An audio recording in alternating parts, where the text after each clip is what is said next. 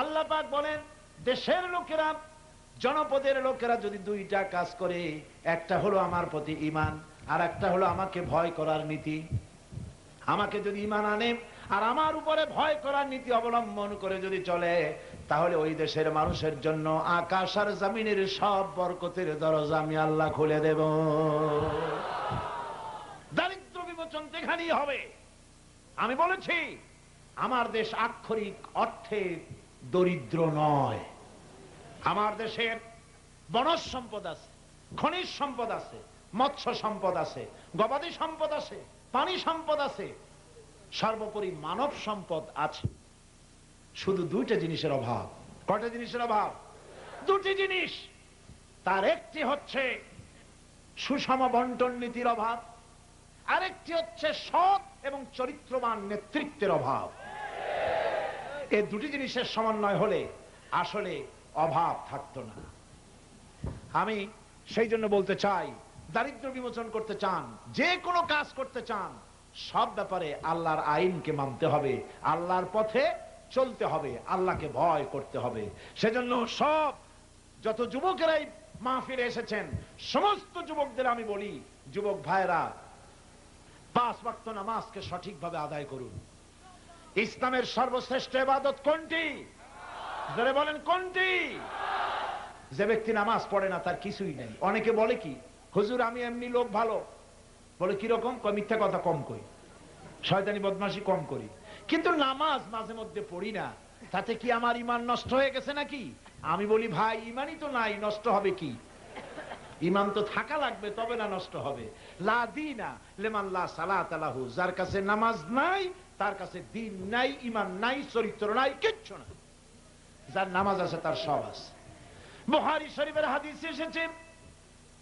আল্লাহর নবী বলেন দিন যেই ব্যক্তির ফরজ নামাজগুলি আল্লাহর দরবারে মঞ্জুর হয়ে যাবে, তার জীবনের সমস্ত ভালো কাজগুলি আল্লাহর দরবারে মঞ্জুর হয়ে যাবে। যেই মানুষের নামাজ আল্লাহর দরবারে কবুল হবে না, তার জীবনের কোনো আমল আল্লাহর দরবারে মঞ্জুর হবে না। নামাজ হচ্ছে শ্রেষ্ঠতম ইবাদত। এই ইবাদত থেকে প্রথম দাবি, যুবকদের কাছে পাঁচ ওয়াক্ত নামাজ সঠিকভাবে আদায় করবেন। এই নামাজের কথাই কেয়ামতে আল্লাহ রাব্বুল আলামিন সর্বপ্রথম জিজ্ঞেস করবেন, বান্দা নামাজ পড়ছো কিনা?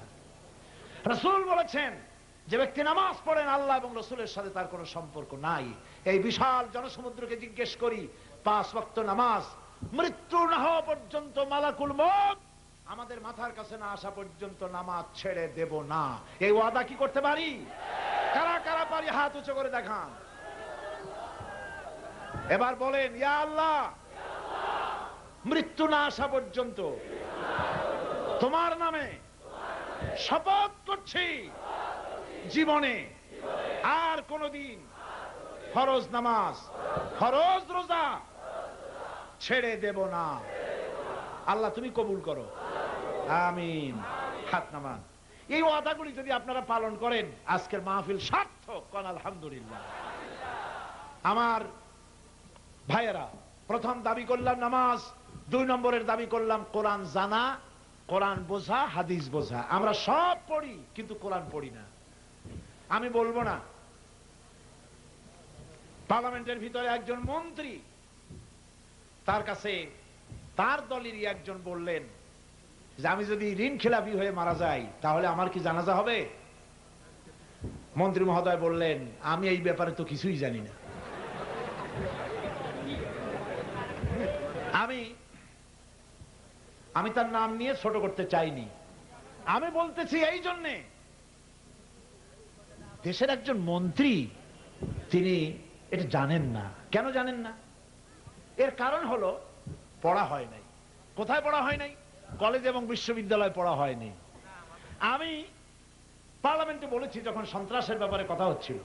আমি ফ্লোর নিয়ে বলেছি, মাদ্রাসাগুলিতে তো সন্ত্রাস হয় না। যদি হয় তা শুধু হয় ওই ঢাকা আলিয়া মাদ্রাসায়। ওই একটাই আছে।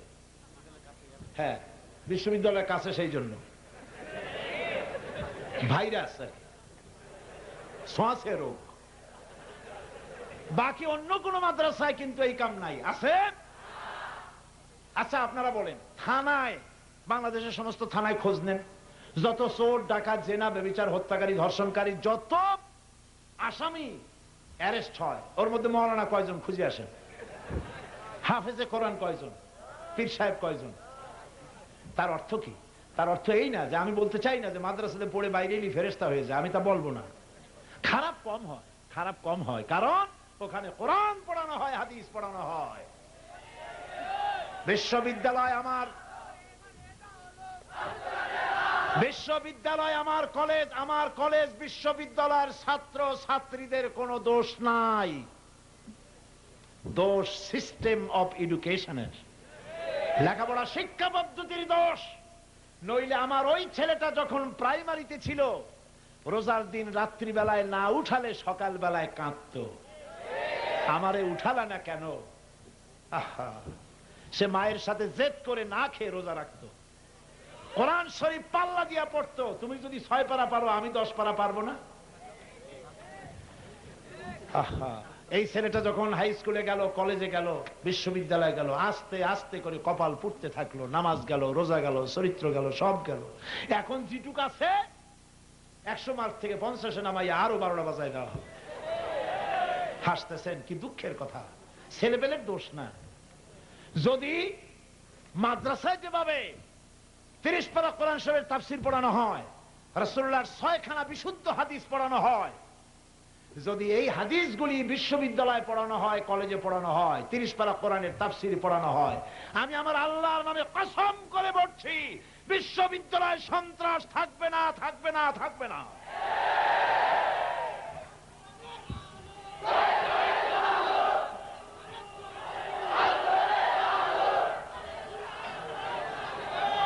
এখন এখন আবার সেই শিক্ষাঙ্গনে ডক্টর কুদরতে খোদার শিক্ষানীতি, সেইটাকে চালু করার চিন্তা ভাবনা গভীরভাবে করছেন কর্তৃপক্ষ।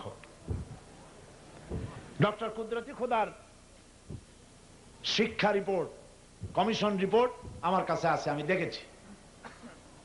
অন্তত তিনশো পৃষ্ঠার একটা বইয়ের মধ্যে, এই রিপোর্টের মধ্যে, বিশাল পুস্তকের মধ্যে, এই রিপোর্টের ভেতরে মাদ্রাসা শিক্ষা, টোল শিক্ষা। টোল। হিন্দুদের টোল শিক্ষা আর মাদ্রাসা শিক্ষা। এক পাতার মধ্যে শেষ করছে।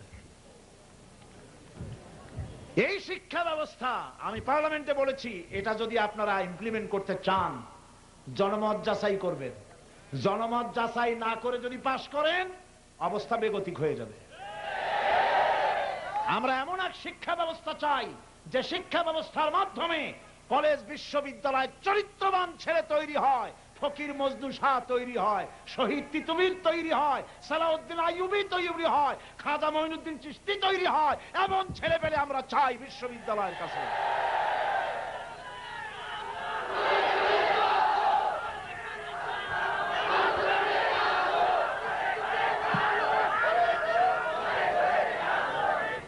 সুতরাং আমি বারবার বলেছি আমার ছেলেদের কোনো দোষ নাই। তাদেরকে ভাবে খারাপ বানানো হয়েছে। অনেক দিন ইউনিভার্সিটি বন্ধ রেখে তারপরে সেখানে ছাত্রদেরকে ঢুকানো হচ্ছে, পরিচয়পত্র দেখাইয়া। পরিচয়পত্র দেখে ঢুকানো হচ্ছে। পত্রিকায় লিখেছে, পরিচয়পত্র তারা দেখছে, তারা নাকি বড় বড় সন্ত্রাসী। আশ্চর্য কথা। বিড়ালের কাছে দিছে দুধের পাহারা। খুব ভালোভাবে পাহারা দেবে। আমি সমস্ত যুবকদের কাছে যারা আজকে এসছেন, সকলের কাছে আবেদন করব। কোরআন শরীফ পড়ুন, হাদিস শরীফ পড়ুন। কোরআন শরীফ বাংলা ভাষায় আমার দেশে বাজারে পাওয়া যায়। যায় কিনা কোন? যায় কিনা? হাদিস শরীফ বাংলা ভাষায় পাওয়া যায় কিনা? অনুগ্রহ করে কোরআন শরীফ তাফসির কিনুন আর নিয়ত করুন আল্লাহ, যতদিন বেঁচে থাকব তিরিশ পারা কোরআন শরীফ, অর্থ ব্যাখ্যা সানে নজরুল বুঝা পড়ব। আর প্রত্যেক দিক অন্তত একটা করে হাদিস পড়ব। রাজি আছেন? রাজি আছেন? কারা কারা রাজি আর একবার দেখি। আলহামদুলিল্লাহ। সকলে কোন আলহামদুলিল্লাহ? হাত নামান। আমার এই জাতির প্রথম ফরজ নামাজ নয়, রোজা নয়, হজ নয় জাকাত নয়। প্রথম ফরজ ছিল ইকরা, বিস্মে রব্বিকাল্লাজি খালাক। পড়ো তোমার প্রভুর নামে, যিনি তোমাকে সৃষ্টি করেছেন। তার নামে পড়ো। সুতরাং যে আল্লাহ পাক পড়তে বলেছেন, সেই পড়া আমি সকলের জন্য অনুরোধ করছি। তোমরা সকলে যত যুবক ছেলে